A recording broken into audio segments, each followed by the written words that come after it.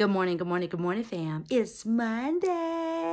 Happy Monday, everybody. I hope that you had a super fantabulous weekend. I know I did. My sister Evelyn was here and my cousin Lois was here, and we just had a phenomenal weekend together. And we went to a birthday party celebrating someone from our hometown who lives here in Atlanta as well that was celebrating their 80th birthday. Wow. And so um, it was an inspiration for this message on this Monday morning on quadruple M, which is Monday morning motivational message.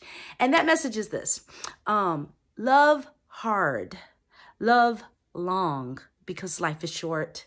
That's right. Love hard and love long because life is short. You know, as we were celebrating um, her birthday, 80 years old, I remember when I was a little girl and she was one of the women in the neighborhood who helped raise us and um, was instrumental in being a part of the village and raising us. And I'm thinking, oh my gosh, 80 years have gone by.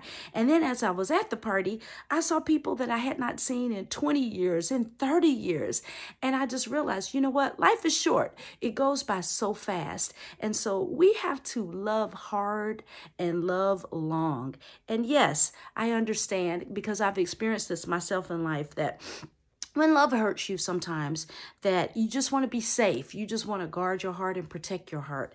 But it's okay to be cautious but let's not be so safe that we don't love and allow our heart to love the way that it was designed to love to allow our heart to give the way that it was designed to give. Because before you know it I'll be 80 if I live long enough, or you'll be 80 if you're not already, if you live long enough.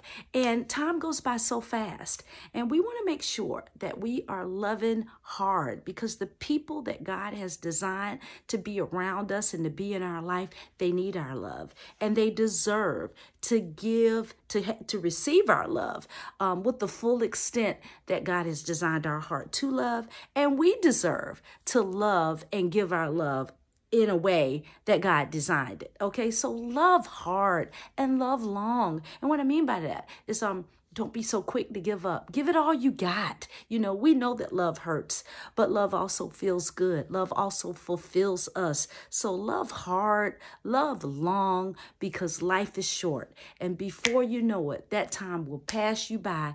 And those that you loved and those that you uh, treasured will be gone for your life and all you have left is the memories of them. And even though those memories might be precious we just want to make sure that as we go through life that we give it all we got. We give it all we got. We love hard and we love long because life is short and that is the Monday morning motivational message for this Monday. So uh, let's think on that. Let's reflect on that.